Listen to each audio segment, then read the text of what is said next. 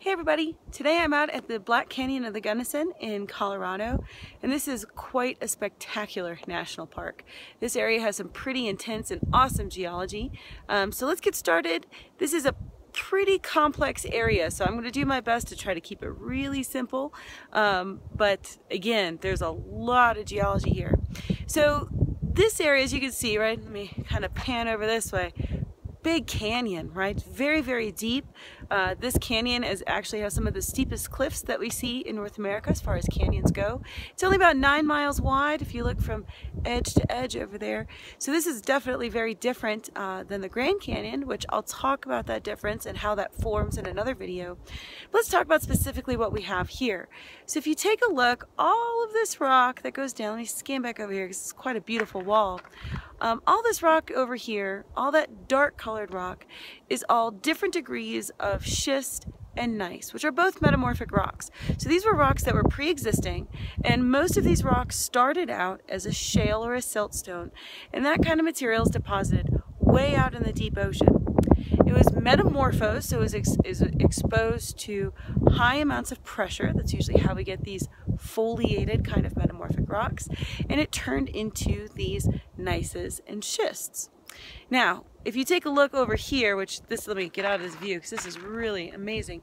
You see all these big, beautiful pink bands that are going through here. This is an igneous intrusion. This is pegmatic granite. Um, so pegmatic is referring to the really large crystal size. So this is telling us that this material cooled really slowly uh, inside the earth.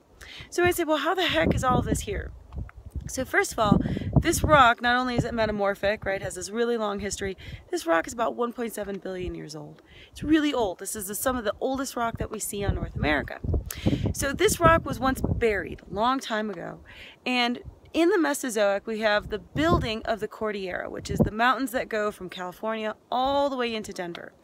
And it was all due to subduction, right, that's happening off the western coast, which is still happening today, just today up in the, the northwest.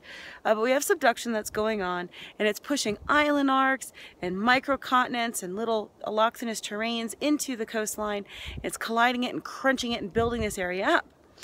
As we get to the end of the Mesozoic, which just for just to mention sake, I way oversimplified that because this is a very complicated topic, the building of these mountains.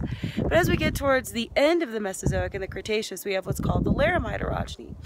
In the Laramide, orogeny, what we see is the angle of subduction, instead of being pretty steep, changes to shallow and it starts happening really fast. So it's pushing up all of this area in the interior of the United States, pushing up this area of Colorado. So we pushed up this area, right? So it's getting pushed up. We create all these fractures and faults along the sides. And then much later on in time, the area starts uplifting, right? Due to continued erosion, right, taking material off and it's starting to uplift. And as it continues to uplift, igneous material that's locked inside is going to come out. It comes out through these fractures. So first of all, you can see all of this igneous material that's here, right, is coming out uh, through those fractures, right, that are in the rock. Now, what made this canyon is obviously river erosion, right? That should be fairly obvious. As you can see, let me pan back over here. We've got the river that's down there. So what happened here is the San Juan Mountains, which are actually in that direction, uh, the San Juan Mountains became very volcanically active. At the same time, same material that we have that's making all of these igneous intrusions. As it became active, it laid down a huge, vast field of igneous material. Now, igneous material is really soft, right? Lots of ash and pyroclastic material. That material is really soft as comparison to this hard rock back here. So as the Gunnison River was kind of flowing down through it, it could erode through that volcanic material really, really quickly. And now that it's eroded through that volcanic material, it's kind of left a nice little divot for itself. And that river is not going to change course. It's stuck now. So now that river is stuck going through this really, really hard material.